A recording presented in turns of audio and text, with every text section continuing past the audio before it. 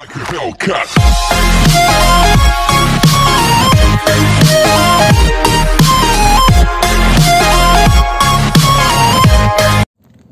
Guys आज की video काफ़ी छोटे होने वाली है, क्योंकि मैं आपको इस वीडियो में बताऊँगा कि गाड़ी की कैबिन नॉइस कितनी होती है टियागो की टू थाउज़ेंड थ्री थाउज़ेंड इन आरपीएम पर।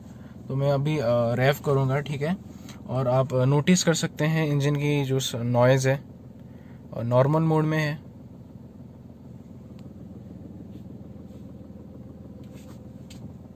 स्टेयरिंग पे अभी वाइब्रेशन तो नहीं है। चलिए रैव करते हैं। ये गाड़ी हो गई अपनी 2000 आरपीएम तक। देख सकते हैं आप।